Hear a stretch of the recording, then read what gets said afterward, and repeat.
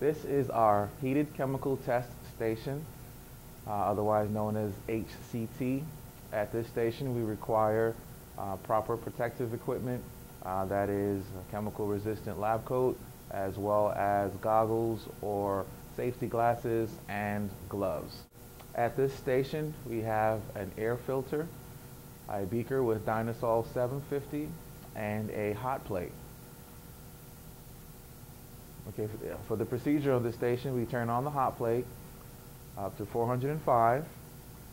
We insert the thermometer into the Dynasol on the hot plate, set that for 105 degrees. Once the Dynasol 750 reaches 105 degrees, we then insert the part that we're going to test for resurfacing we use an alligator clip or any other apparatus that can suspend the part in the Dynasol. And we adjust the arm, attach the alligator clip to the arm with the unit to be tested attached. We then lower it into the Dynasol. For larger parts, it's easier. You can leave half of the unit suspended uh, in the Dynasol and the other half out of the Dynasol. For smaller units, at times you will end up immersing the entire unit. And once we do have it set, uh, we close the door,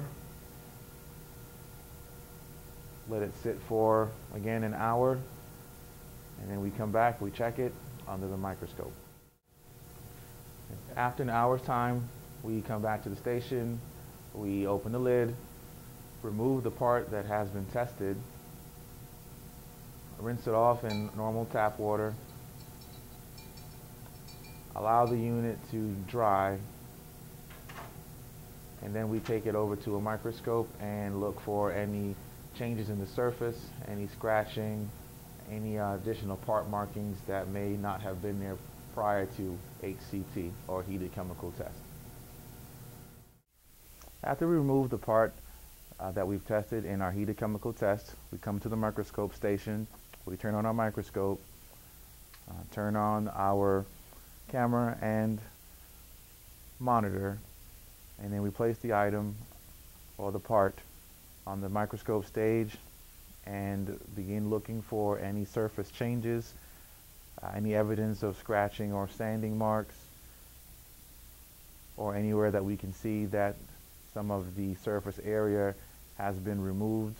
Uh, again, on a smaller unit, more than likely the entire unit would have been immersed, so we were definitely looking for sanding marks and scratch marks.